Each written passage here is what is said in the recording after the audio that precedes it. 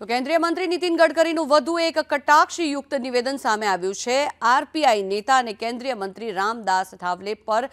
ગડકરી દ્વારા નિવેદન આપવામાં આવ્યું ચોથી વાર સરકાર બને તો તેમાં પણ અઠાવલે મંત્રી હશે તે પ્રકારનું નિવેદન ગડકરી દ્વારા આપવામાં આવ્યું છે તેમની ગેરંટી છે પણ અમારી કોઈ ગેરંટી નથી ગડકરી દ્વારા આ કટાક્ષ ભર્યું નિવેદન આપવામાં આવ્યું છે રામદાસ ઠાવલેंचं आत्ताच त्यांनी सांगितलं की तिसऱ्या वेळी पुन्हा चौथ्या वेळी पण आम्हीच येणार आहोत आमची गॅरंटी नाही आहे पण त्यांची गॅरंटी पक्की आहे तेव्हा लालू प्रसाद यादवनी एकदा असं म्हटलं होतं रामविलास पासवानला ये बहुत बड़ा राजनीतिक मौसम शास्त्रज्ञ है और क्या होने वाला इनको पता होता है उसके अनुसार उनकी नीति अपनाते हैं